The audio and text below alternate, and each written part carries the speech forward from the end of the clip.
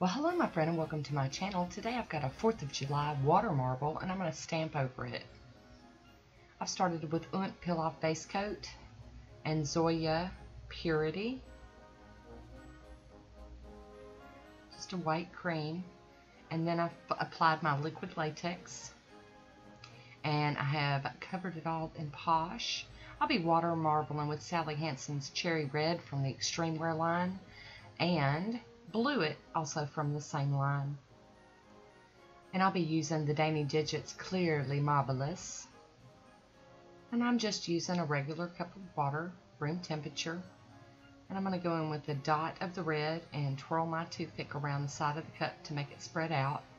And then I'm doing a drop of the Clearly Marblous, and then blue, and then clear again, and then red, Got to make sure it finishes spreading and then drop in another clear and then one last blue. And I'm going to draw my design in with my little toothpick and I'm just going out kind of in a starburst pattern and then I'm going to bring it all back in.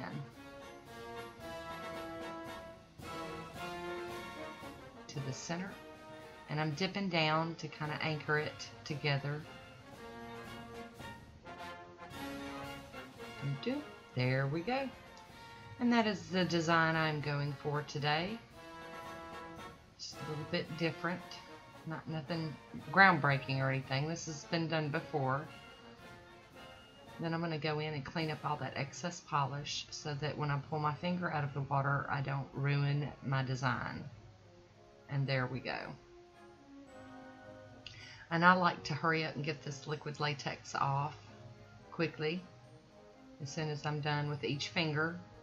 And I'm not just going to pull mine and break it and then peel it off. And there we go. And we're going to do one more. I've actually done all my fingers, but I'm only going to show two. Y'all don't want to be here that long. but we're going to do the same pattern, the red, the clear, and then the blue, and then more clear. And red again. and then clear. And then blue. And I was really impressed with the Clearly Marblous. It worked really well to leave that blank space to show the white underneath. I thought that worked out really well. And I've used a couple of other ones. I've used one from, where have, where was that one from?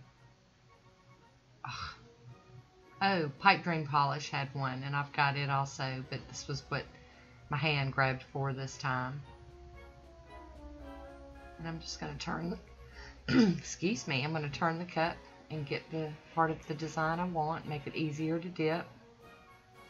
And I'm going to pinch my ring finger and my thumb against the cup to hold it still so I don't spill it. I had a bubble I had to pop. And there we go. Peel that liquid latex off again. Snap. Snap and peel. There we go. And I'm going to do a little bit of cleanup because of course I never get my liquid latex up as far as I should. Didn't do too bad this time, but I still got some big blobs I need to get up. So I'm going to clean those up with a uh, Q-tip real quick.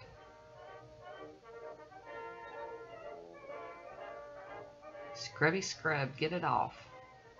And then I'm going to go in with my, I've gone back to my pure acetone, guys. I'm just, you know, it works so much better. And I'm cleaning up with my Sonia Kashuk's Tools number 27 brush.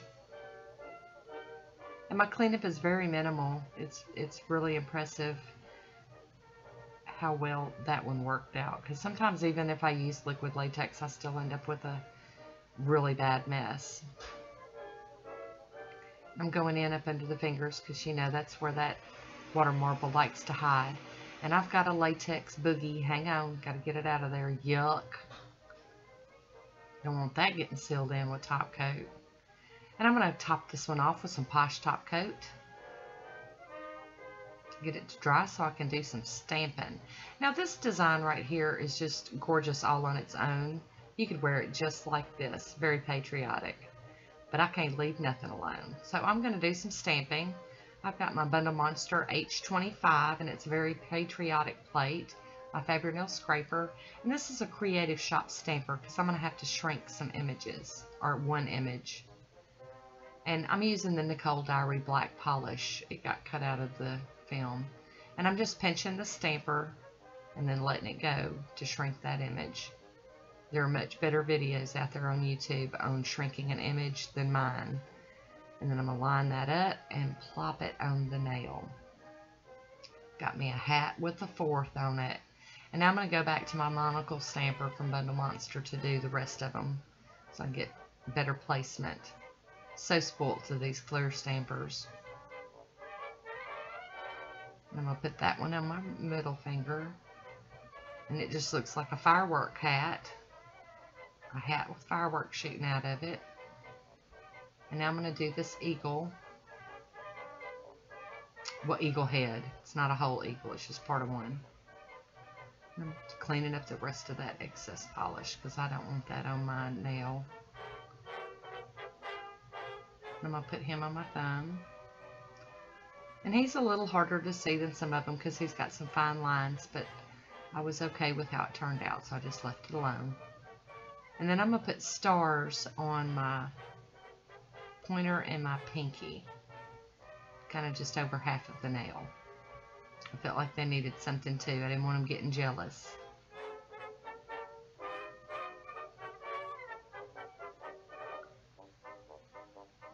And try to line that up. Plop them on. And there we go. I'm going to do a little bit of cleanup with my tape, and this one's coming up really nice with the tape. In fact, I don't think I'm going to have to break out any acetone. Makes me happy. It's the little things. Little things make us happy. Big things make us happy too, but you know. So I'm going to top this one off with some Posh Top Coat to seal in that stamp design. Capping my ends to make sure that it's nice and coated. And there we go. Here's my swatch photo. I would love to hear what you think about this one. Leave me a comment down below and let me know what you think about it. And thanks for watching. And until next time, be good to yourself. I'll talk to you soon. Bye.